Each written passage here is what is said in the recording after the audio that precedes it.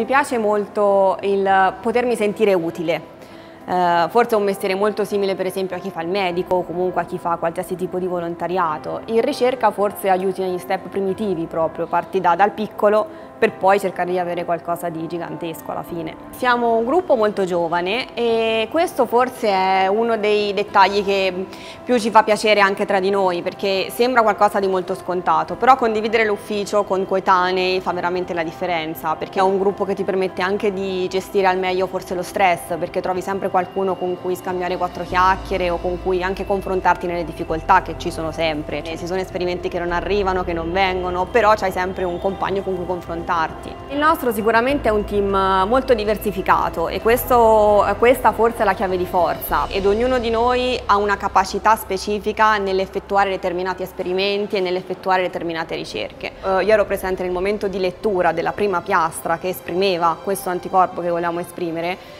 io mi ricordo che c'è stato un momento in cui tutti si sono guardati e non sapevano se ridere, piangere e quindi si è deciso per l'abbracciarsi tutti e basta, perché obiettivamente funzionava e quindi finalmente potevamo davvero andare avanti con tutto quello che eravamo riusciti ad ottenere fino a quel giorno, quindi avevamo avuto la prova finale e è stato veramente un bel momento quello sicuramente. E io insomma ricordo giorni dove eravamo magari il sabato in laboratorio, non abbiamo mai detto di no a venire anche nei giorni festivi perché sapevamo che eh, ogni pomeriggio in più che passavamo era un pomeriggio in meno magari da attendere per avere una possibile cura.